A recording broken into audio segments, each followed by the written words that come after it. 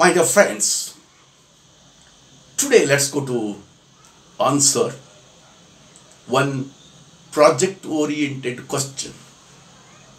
This is a new type of question that is being asked according to the recent NCERT syllabus. And it is a very easy question where one can take 5 marks out of 5 and a passage will be given or a, a passage of some statements will be given. And some five questions are set on that.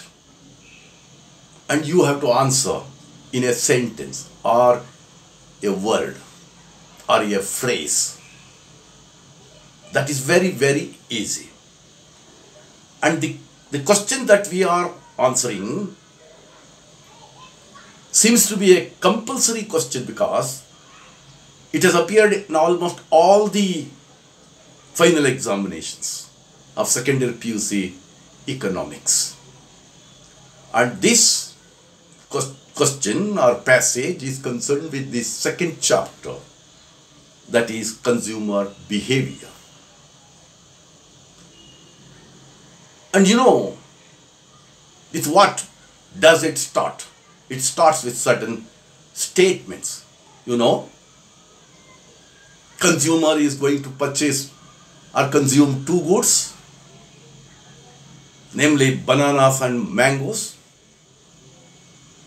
And the price of banana is rupees 4 and the price of mango, each mango is rupees 5 and the consumer's income is rupees 5 sorry 20 with this 20 he has to purchase both bananas and mangoes so that that is the thing consume a consumer wants to consume two goods bananas and mangoes and the price of each banana is rupees 4 and the price of each mango is rupees 5 and the consumer's income is rupees 20.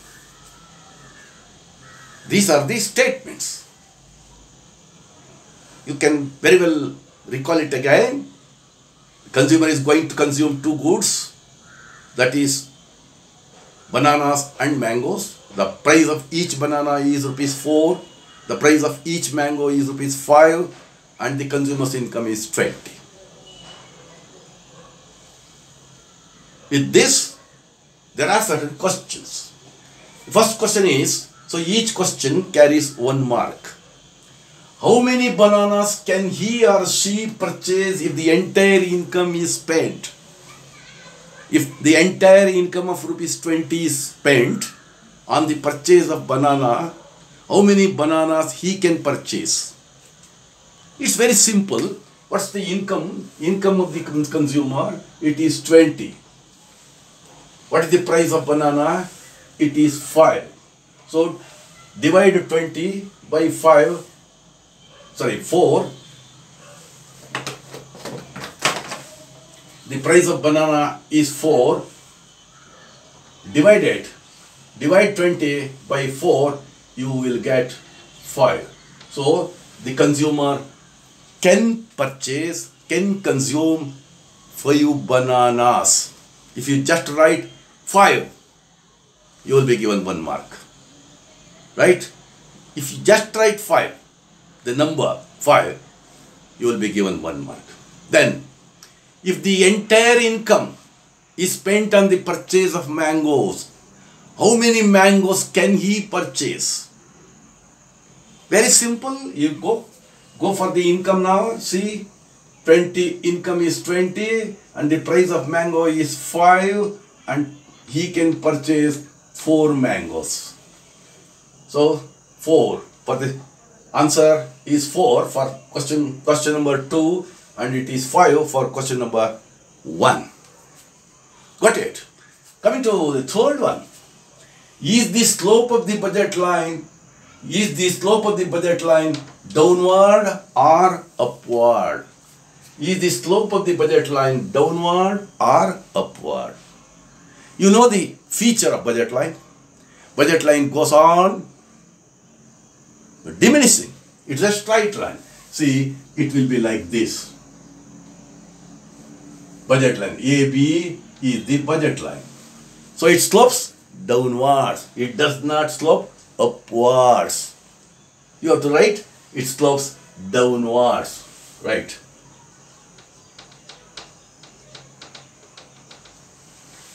It will be like this. It does mean as you go for one commodity, you will have to forego the other commodity.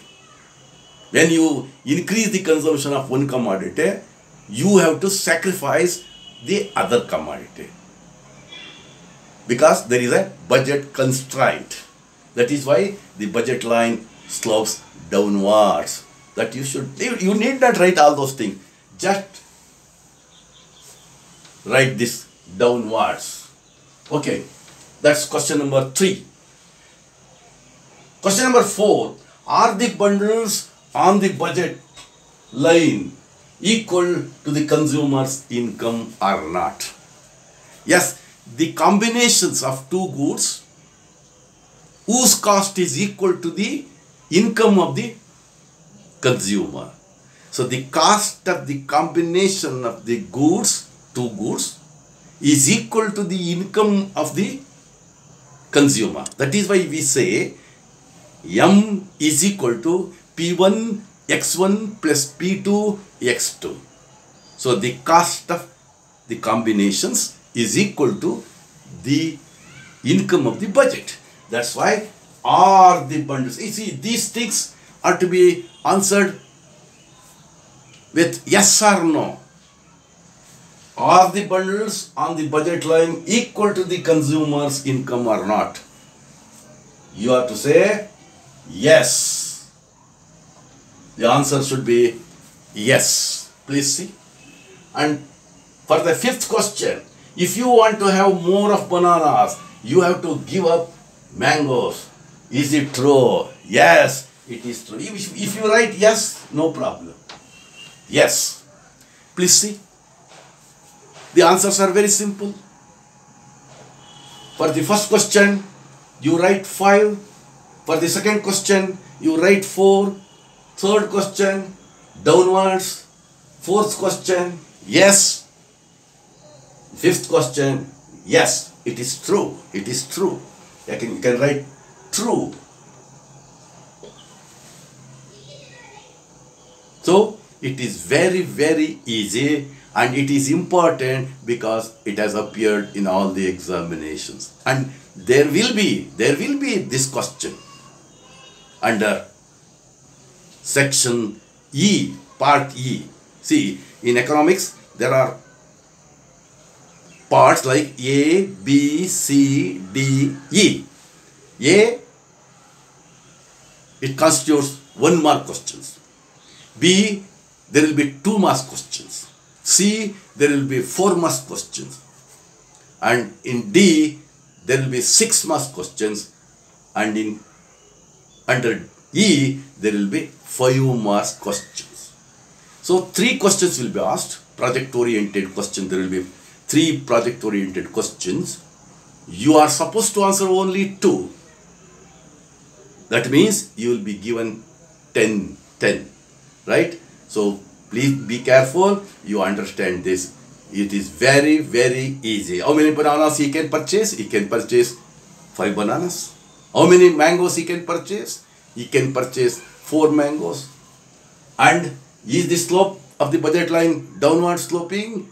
It is downward sloping, it is not upward sloping. Or are the bundles on the budget line equal to the consumer's income or not? Yes. And if you want to have more of bananas, you have to give up the consumption of mangoes. Is it true? Yes, it is true. If you write these answers, you will be given 5 out of 5. Okay? Thank you.